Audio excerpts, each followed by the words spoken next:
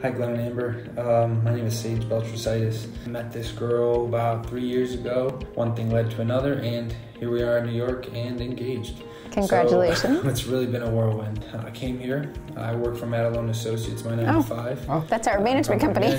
And now my fiance and I have gotten our real estate licenses together, work on transactions there, uh, and I am also a volunteer firefighter for East Glenville Fire Wow. Department. This opportunity really gives us a chance to take our dreams to the He's next saying level. us and we, but his fiance's always not here. To do, we take the knowledge that you guys have and start our own business, start our future for our family, and really provide um, for what we see our future going. I did not tell my fiance. Oh, we Oh. did didn't tell his fiance he's So doing it it, would that's be a why. little ex- surprise, but That's why I she's think not it'd be a here. surprise um, for us to really, to really kickstart our future together.